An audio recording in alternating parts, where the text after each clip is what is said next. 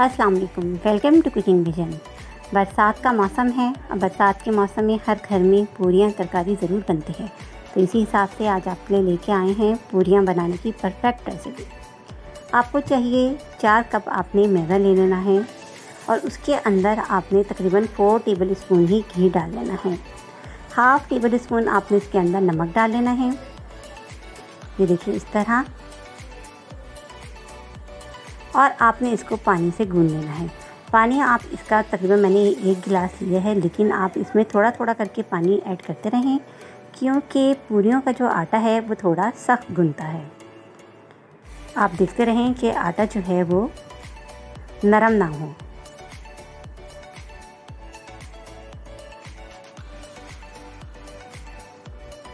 अच्छे से जब आटा आपका आटा गूंज जाए तो इसके ऊपर हल्का सा घी लगा के आप इसे तकरीबन आधे घंटे के लिए रख दीजिए।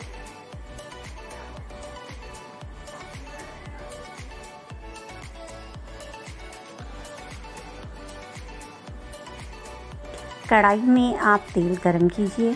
तेल जो है आपका पूरियाँ बनाने के लिए अच्छा गरम होना चाहिए।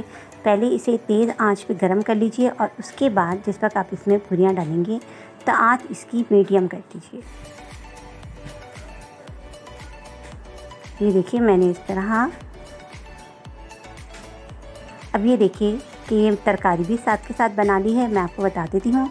इसके लिए मैंने एक किलो आलू बारीक बारीक काट लिए हैं और उसी के अंदर दो गिलास पानी डाल के नमक कुटी हुई मिर्चें, हल्दी और कलौजी। बस ये चीज़ें डाल के मैंने इसे हल्की आँच पे पकाने रख देना है। हमारी तरकारी तैयार है। आटा हमारा सेट हो चुका है।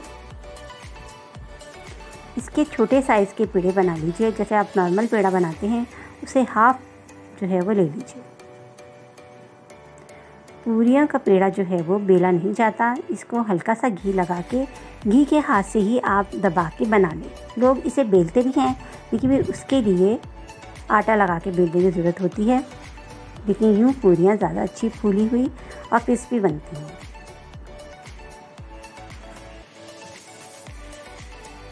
बस आप इसे कढ़ाई में डाल दीजिए तेज़ आँच में।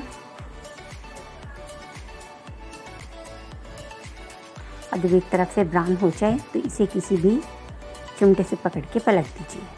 बहुत अच्छी फूली हुई पूरियाँ बनती हैं। इसमें आपको कोई बेकिंग पाउडर या सोडा मिलाने की ज़रूरत नहीं है। ये देखिए, कितनी अच्छी हमारी पूरियाँ जो हैं वो रेडी हो चुकी हैं। आप इसे तरकारी के साथ, हलवे के साथ सर्व कीजिए। हलवे की तरकीब मैं आपको पहले अपने चैनल पे बता चुकी हूँ। मैं डिस्क्रिप्शन में इसका लिंक भी आपको डाल दूँगी तो आप वो देख लीजिएगा। देखिए, हमारी पूरियाँ रेडी हैं। आप बनाइए, खाइए। मुझे दुआओं में याद